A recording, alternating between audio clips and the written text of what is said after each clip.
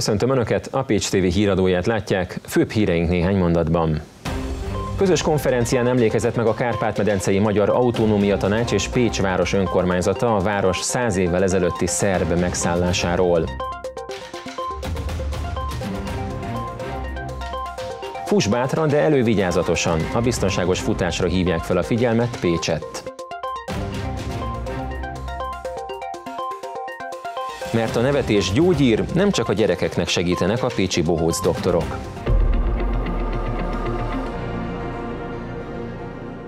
Pécs szerb megszállása 1918. november 14-én címmel közös konferenciát tartott a Kárpát-medencei Magyar Autonómia Tanács és Pécs város önkormányzata a száz évvel ezelőtti szerb megszállás gazdasági és társadalmi következményeiről. 1918. november 14-én szerb csapatok szállták meg Pécset és Baranya nagy részét.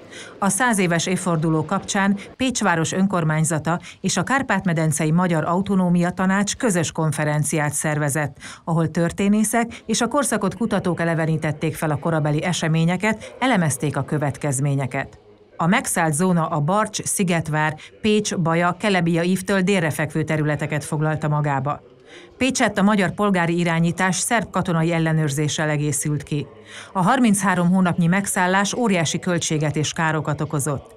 1920 és 21 között a város költségvetése 14 millióról 123 millió koronára nőtt. A gazdasági károknál azonban sokkal fontosabb volt Pécs fejlődési ívének megtörése. A közvetlen hatásai azok, azok mind a fizikai atrocitásokban, mind a város kirablásában, mind a Pécs Magyarországról való kivételével és a délszláv területek felé való fordításával, a város készleteinek, nyersanyag készleteinek elrablásával, technikájának a elvitelével fügtek össze. A gazdaság az pótolható mindig, tehát azzal mindig lehet valamit csinálni hosszú távon, ami ami sokkal rosszabb volt, az nyilván az, hogy, hogy politikailag, társadalmilag ez a folyamat igen megtörhette azt a közösségi rendszert, azt, a, azt az identitásmodellt, amivel mondjuk a város rendelkezett a korábbiakban. A trianoni békeszerződés aláírásával a nagyhatalmak keresztül húzták a szerb törekvéseket, és Baranya nagy része ismét magyar fennhatóság alá került. Ám az új Baranya jelentősen különbözött a korábbitól. A Pécs és környéke Baranya elveszítette azt a gazdasági hátországát, amelyet a Tráván túli területek jelentettek számára évszázadon keresztül, és ez nyilvánvalóan súlyos következményekkel járt az, az, a város társadalmi gazdasági helyzetére egyaránt, nyilván visszavetette a város fejlődését. A szerb csapatok 33 hónap után 1921-ben távoztak Pécsről. A város kiürítése és felszabadulása után a lakosság azonban még hosszú évekig érezte a közel három évnyi szenvedés következményeit. Novemberi ülését a csütörtökön Pécs közgyűlésen, a testületi ülésen több fontos kérdésben is döntés született. Az ülés elején megvitatták Pécs város adókoncepcióját, és döntöttek a helyi adórendeletek módosításáról. A folytatásban Pécs gazdasági vonzerejének növelése érdekében a déli ipari parkban létesítendő új üzemcsarnokkal és üzemépülettel kapcsolatos beruházásról tárgyaltak a városatják. A két projekt összköltsége meghaladja másfél milliárd forintot. A Pécsi vásárcsarnok évek óta tervezett modernizálása ismét közelebb került a megvalósuláshoz, lezárult az áttervezés, jelenleg a kivitelező kiválasztása zajlik. Az új létesítmény környezetében jelentős zöld felület kialakítását tervezi a város, valamint átalakítják, modernizálják a közlekedést és jelentős infrastruktúrális fejlesztés valósul meg. Tovább javult Pécs közbiztonsága is. A közgyűlésen jelentették be, hogy a jelenleg a város területén üzemelő 64 térfigyelő kamera mellé további 65 berendezést helyeznek üzembe Pécs különböző pontjain. Végezetül alapítványi támogatásokról, testvérvárosi együttműködésekről is szavaztak a képviselők. Sokakat érintő ügyekben született döntés Pécs város mai közgyűlésén, a legfontosabb eredményekről, a döntések következményeiről a legilletékesebb szemétől kaphatunk tájékoztatást. A stúdióban köszöntetem Páva Zsoltot, Pécs polgármesterét. Köszönöm szépen, hogy elfogadta a meghívásunkat. Hát a témánk természetesen az aktuális fejlesztések a városnak a célkitűzései. Kezdjük akkor a déli ipari parkkal, itt milyen fejlesztések várhatók a jövőben. Igen, a mai közgyűlésen sok téma között három olyan kiemelt téma volt talán, amiről ma érdemes beszélni. Egyik volt valóban az, amit ön is említ, a déli parki fejlesztések. hogy itt a városnak van egy viszonylag jelentős területe, társbéletben egy másik nagyobb tulajdonossal, de minden esetre a mi részünket most már odáig tudtuk fejleszteni, hogy nagy, nagyjából is fogy a terület. Két terület ügyében döntött a közgyűlés ma. Az egyik az egy 10 hektáros méretű teleknagyság, ott fog épülni egy csarnok, raktár együttes, 700 millió forint nagyságrendileg ez a költség, amiben ez kerülni fog.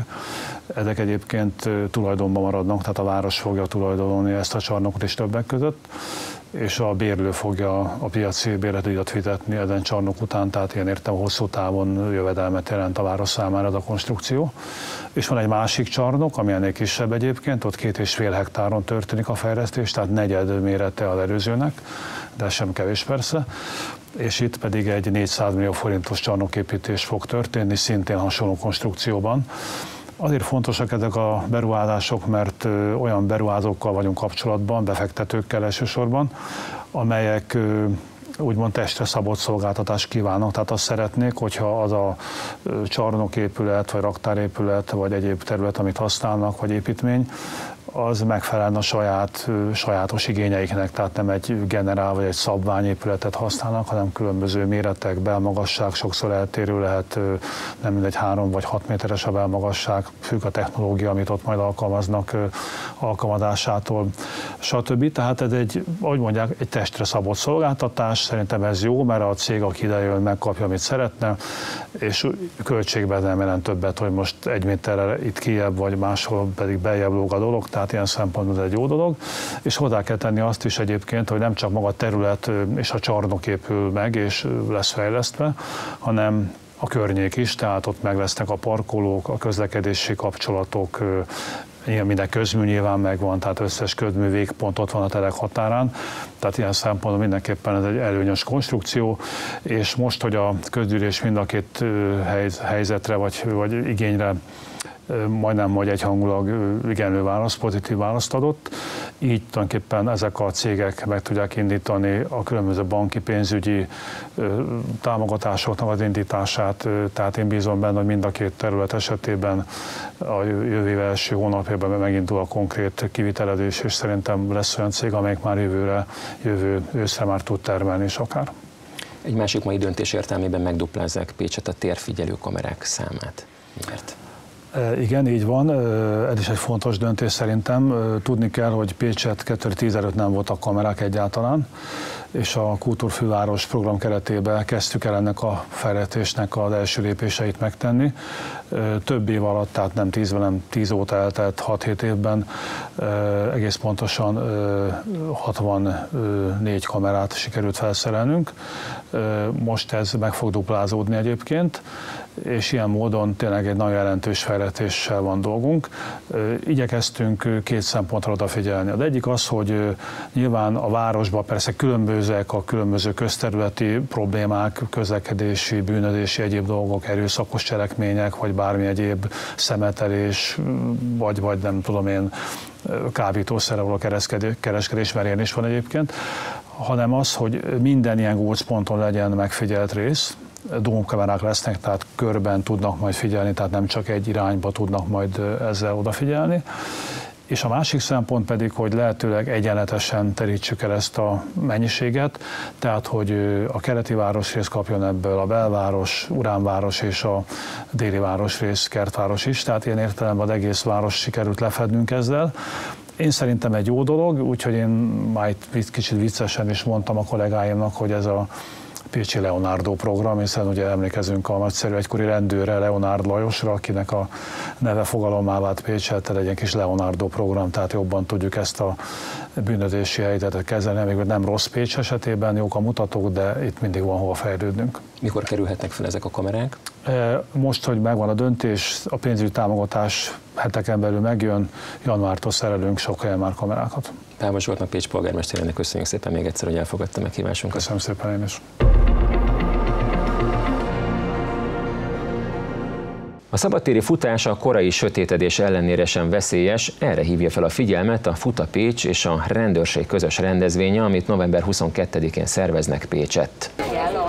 Futók gyülekeznek Pécsett a szokásos keddi edzésükre. Az évek óta rendszeres edzések során erős kötelék alakult ki a sportolók között. Összetartó ereje van a csoportos futásoknak. A közösségi élmény mellett biztonságot is jelent a többiek társasága. Nagyobb kutyáktól tartok leginkább, főleg, hogyha szabadon vannak. Mi egy kertváros vagy kertkes családi ö, övezetben lakunk, és azért ott előfordul időnként. Igyekszem olyan helyen futni, ahol, ahol minél nagyobb a forgalom. forgalom. Ilyen sötétedős időszakban pedig leginkább akkor próbálok menni, amikor közösen tudunk menni futni, például itt is. A sportolóknak azonban nem csupán a kóbor állatok támadásától kell tartaniuk. Október közepén Makai Viktória ultrafutóbajnokot egy férfi futás közben megtámadta, megverte, majd szexuálisan zaklatta. Mindez csupán néhány száz méterre a sportoló otthonától. A futót a segítségére siető férje mentette meg. Pécset november 22-én szimpátia futást szerveznek a futóknak, érdeklődőknek. Megpróbáljuk a, az emberekkel tudatni azt, hogy, illetve a futókkal, hogy hogyha közösséghez csatlakoznak, milyen jó egy közösség, ugye, nem csak a Futapécs, hanem a többi közösség is, hogyha egy, egy közösséghez csatlakoznak, akkor nem kell egyedül futniuk, nem kell egyedül elmenniük, akár nappal, akár éjszaka, hanem, hanem találhatnak olyan társakat, akivel közös tempót, hasonló rajt helyről indulva, hasonló célterületre érkezve tehetik meg ugye a, a napi kilométereiket, tehát jó egy közösséghez csatlakozni. Az önvédelemben fontos, hogy felkészültek legyenek a sportolók, ezért a bűnmegelőzéssel kapcsolatban több figyelemfelhívó kampány is indult. Célban a Széchenyi téren, ahova majd érkeznek a futók és a sétálók, mert sétálni is lehet majd, ott pedig egy standot szeretnénk felállítani, ahol egyrészt a három pillérünknek, minden, minden egyes pillérnek a képviselője majd jelen lesz, és akár szóban, akár pedig különböző tájékoztató anyagokkal tudunk rendelkezésre állni azoknak, akik érdeklődnek. November 22-én 17 óra 45 perckor találkoznak a futók a Pécsi 48-asok terén, ahonnan egy 5 kilométeres táv teljesítése után érnek a Széchenyi térre. Gyaloglók is részt vehetnek a rendezvényen, rájuk egy kilométeres táv vár majd. A nevetés gyógyít az 1996 óta működő Piros Orr Bohóc Doktorok Alapítvány küldetése, hogy Bohóc doktoraival nevetést és humort vigyen az arra rászorulók életébe. Jelenleg 30 Bohóc doktor 15 gyerekkorházat látogat országszerte heti rendszerességgel. Emellett speciális programokkal jelen vannak idősek otthonában, a Pető Intézetben, valamint halmazottan sérült gyerekekkel foglalkozó intézményekben, mert a nevetés gyógyít. Pécset öt bohóc doktor járja a kórházakat. A tapasztalatok azt mutatják, hogy ahol ők megjelennek, rögtön vidámabb lesz mindenki. A bohóc doktorok munkájuk során a humort használják, ezzel nem csak a feszültséget oldják, de el is terelik a gyerekek és szüleik figyelmét a fájdalomról és a szorongásról. Orvosi megfigyelések megállapították, hogy azok a betegek, akik találkoznak bohóc doktorral, gyorsabban épülnek fel, akár a műtétek után is. De lássuk csak, hogyan zajlik egy bohóc doktori vizit. Tehát mikor megérkezünk, akkor általában el szoktunk menni egy civil vizitre, ez azt jelenti, hogy még nem bohóc ruhába, körbejárjuk az osztályokat, ahova fogunk ma menni, és akkor megkérdezgetjük a nővéreket, hogy melyik gyerekről mit kell tudni, milyen betegek vannak, hogy készüljünk, stb. Ahogy belépnek a kórterembe, a bohóc doktoroknak a másodperc töredéke alatt kell alkalmazkodniuk a pillanatnyi helyzethez. Milyen a hangulat, mekkorák a gyerekek, és milyen az állapotuk. Esetleg van-e látogató valakinél, akit be lehet vonni a nevetésbe. Ezután a tarsajukból zenét, vidám varázslatokat, zsonglőrmutatványt, játékokat húznak elő, és a megteremtett barátságos légkör által segítik a gyógyulást.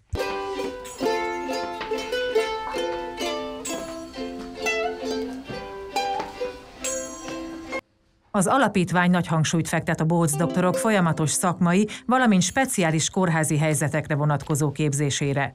A havi rendszerességgel megtartott művészeti és pszichológiai továbbképzéseken számos elismert magyar és külföldi vendégművész, gyermekpszichológus, valamint Európa leghíresebb bohóc trénerei is tartanak előadásokat. A nevetés nemzetközi nyelv, amelyet a világ minden pontján megértenek. És a nevetés gyógyít. Főbb híreink még egyszer néhány mondatban. Közös konferencián emlékezett meg a Kárpát-medencei Magyar Autonómia Tanács és Pécs város önkormányzata a város száz évvel ezelőtti szerb megszállásáról. Fuss bátran, de elővigyázatosan. A biztonságos futásra hívják fel a figyelmet Pécsett. Mert a nevetés gyógyír, nem csak a gyerekeknek segítenek a pécsi bohóc doktorok. Híradunk végén néhány szó az időjárásról. Városunkra pénteken derült égre, ennek következtében hideg, csípős hajnalra ébredhetünk. Reggel mindössze 3-5 fokot mutatnak a hőmérők. Napközben kevés felhőre, sok napsütésre számíthatunk, a legmagasabb nappali hőmérséklet 8-11 fok között alakul. Tovább folytatódik a lehűlés, hétvégén már talajmenti fagyok is előfordulhatnak.